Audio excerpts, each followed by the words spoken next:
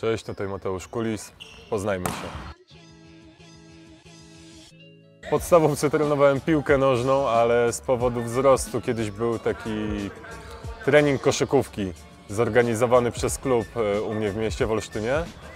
I trener, który później był moim trenerem, powiedział, żebym wpadł na trening. I wyszło tak, że jednak koszykówka wygrała z piłką nożną i zacząłem grać w koszykówkę.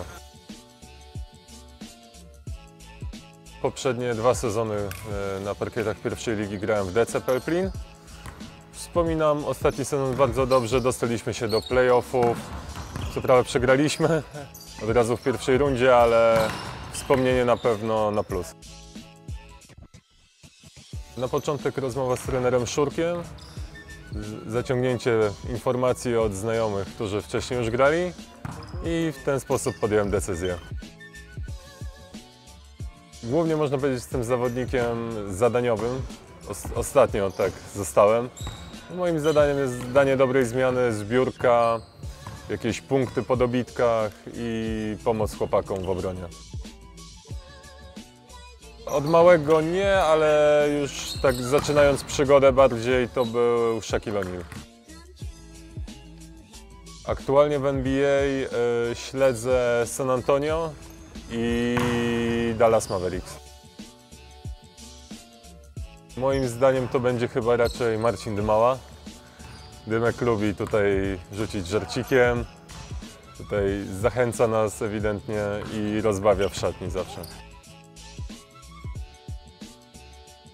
Znamy się z Patrykiem już e, parę lat, graliśmy też razem w Pelplinie, więc no, mogę powiedzieć, że w sumie nie zdziwiłem się, że mnie wybrał, ale do, dob- dobrze się znamy na pewno. Też wybiorę Patryka i wydaje mi się, że też z tych nowo poznanych będzie to Marcin, bo od razu tak złapaliśmy się w sumie we trójkę.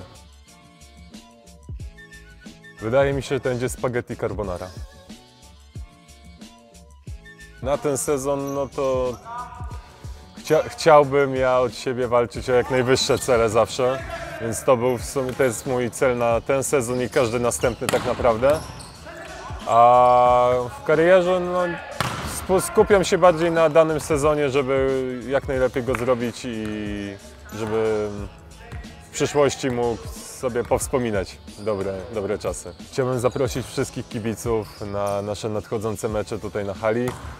Liczę na Wasz gorący doping i wiem, że damy z siebie wszystko na każdym meczu, żeby dostarczyć Wam jak najwięcej emocji i żeby mecze kończyły się pozytywnie.